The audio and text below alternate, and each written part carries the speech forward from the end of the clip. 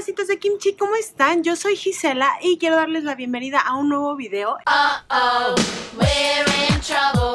Something's come along and it's burst our bubble. Uh oh, we're in trouble. Gotta El día de hoy les voy a traer lugares que son muy kawaii para comer aquí en Querétaro. Y por supuesto, no es porque sea yo bias o porque yo esté aquí ni nada, pero el primer lugar va a ser Gangnam K-Pop Café. El día de hoy les voy a mostrar un poquito de cómo luce el café. Les voy a dejar aquí abajo la dirección del café y ahorita les voy a enseñar un par de cositas que pueden comer aquí en el café. Y sobra decir que este lugar es muy kawaii, es muy cool, todo es muy de K-pop.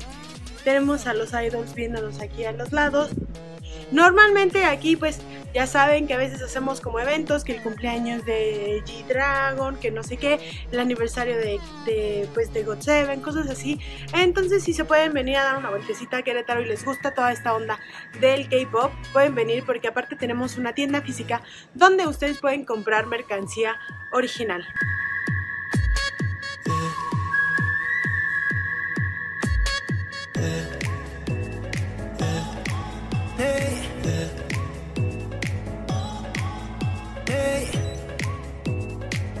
Quedó la cocina, pero ahora esto es la cocina. Así quedó la cocina de Gundam Café. Hoy se ve un poco vacío, pero...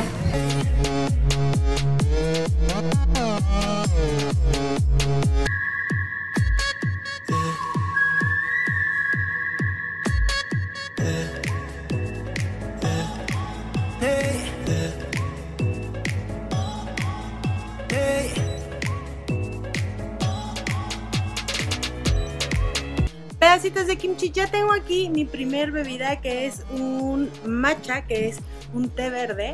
Y lo siguiente que vamos a probar va a ser un ramen extra picante. Así es que ahorita lo vamos a preparar y vamos a probar estos dos juntos a ver qué tal. Porque la verdad es que este pica muchísimo. Ya tengo aquí mi ramen. Miren, se ve súper delicioso. Es el ramen extra picante. Ya tengo aquí mis palitos.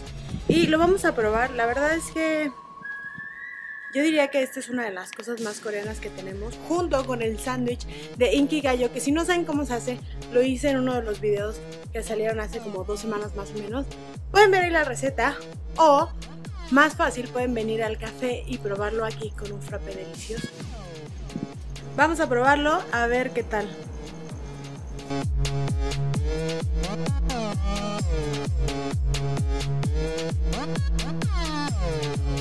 Pica, ¿eh? La verdad es que hace, tiene tiempo que no lo comía, pero sí les recomiendo que se echen una bebidita cuando vengan. El de matcha es un sabor súper rico, es té verde. Si no lo han probado, les recomiendo cuando vengan. El sabor de matcha, taro, limón es muy fresco, choco arándano. Hay muchos sabores de los que pueden elegir y si no lo quieren beber así frío, lo pueden pedir también en su versión caliente. Bueno, yo me voy a quedar aquí disfrutando un poquito de mi ramen y acompáñenme a ver el siguiente lugar, kawaii.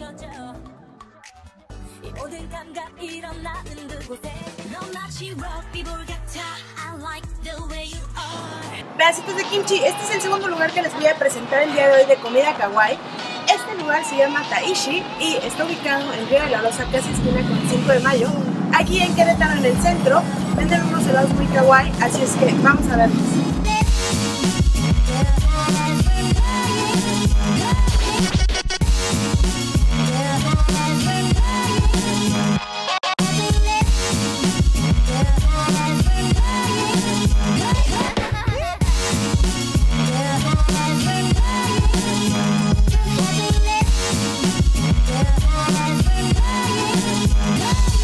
Aquí en Taishi, esta es la parte de adentro, es un lugar pequeñito con dos mesas.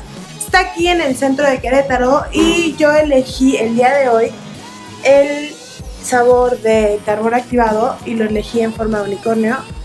Este es, ya está un poquitito derretido porque le tomé unas fotos, pero este es, todo lo que trae es comestible, todo el cuernito y todo es comestible.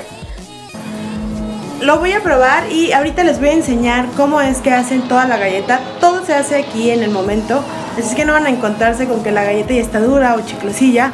Lo hacen aquí antes de, cuando ustedes lo piden, en ese momento les hacen su barquillo. También tienen eh, la opción de pedirlo en barquillo normal o en vasito por si no quieren comer como mucha caloría o algo así. Así es que este lo voy a probar. Les digo que todo es comestible, a ver qué tal.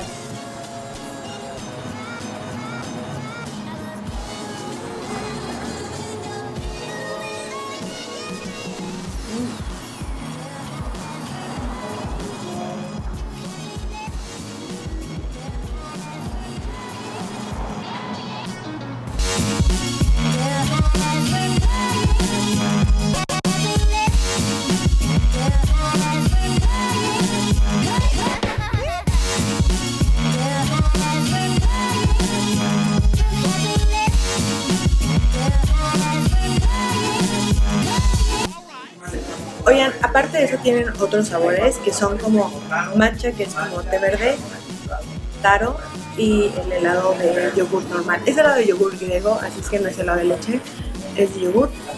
Y la verdad es que está muy bueno, es como una súper buena opción si quieren comer algo muy kawaii aquí en Querétaro. Se llama Taishi y está aquí en el centro. Les voy a dejar aquí sus redes sociales por si quieren venir. La verdad es que están súper ricos, muy recomendados. El de mayor precio es este de unicornio porque cuesta 75 pesos, pero si tomamos en cuenta que te hacen la galleta en ese momento y lleva cosas todo comestible, la verdad es que lo vale totalmente y pues digo, la verdad es que si vamos a una paletería normal, un helado ya nos cuesta como 35, 40 pesos, así es que no es tanta la diferencia por algo que está tan kawaii.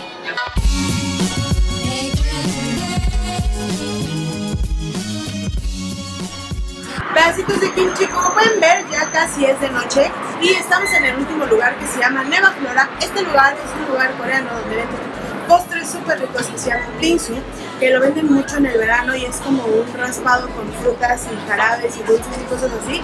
Y es súper bueno y vamos a entrar a ver el último postre del día de hoy.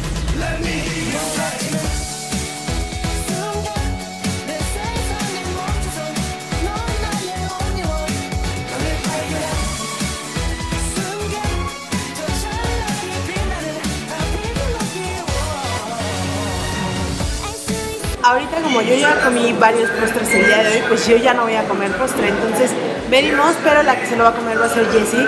Pidió un, un bingsu que se llama yogurt berry y básicamente todos llevan como la misma base, que es como este raspado de leche y le ponen frutas y el que pedimos lleva como cornflakes o como cereal de hojuelas más eh, blueberries así y mermelada o algo así lleva.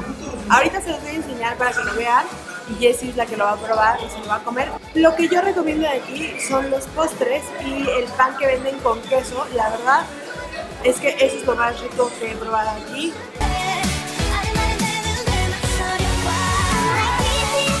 Este es el postre que pidió Jessie, es el yogur berry en tamaño mediano o, o chico y cuesta 78 pesos. Y la versión grande que es como para 2, 3 personas cuesta 115 pesos. Sí es un poquito más caro, pero pues sí alcanza como para varias personas. Entonces vamos a ver qué tal, qué tal le parece a Jessie. A ver, Jessie ya nos va a enseñar que, bueno, usualmente te dan como lechera con este postre y pues obviamente se la tienes que vertir. Si quieres más lechera la puedes tomar, si quieres menos o no echarle, pues adelante.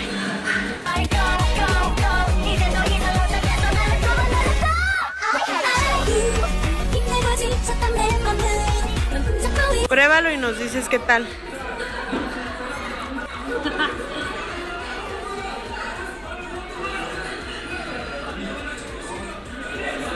La verdad está súper rico. A mí me gusta mucho este. Es el que más me gusta.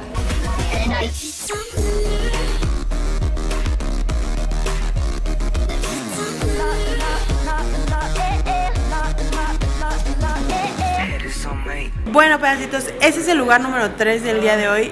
Le tocó venir a Jessie conmigo para probarlo porque yo ya había probado los otros dos lugares. Entonces, eh, al parecer sí le gustó porque pues sigue, sigue comiéndoselo. Aunque se le haya dormido la lengua. Este lugar también está en Querétaro, está en Constituyentes, entre un Starbucks y unas salitas y por donde hay unos tacos el pata. Para los que sean de aquí deben de saber por dónde es más o menos y para los que no, pues ya encontrarán como referencia esos tres lugares más.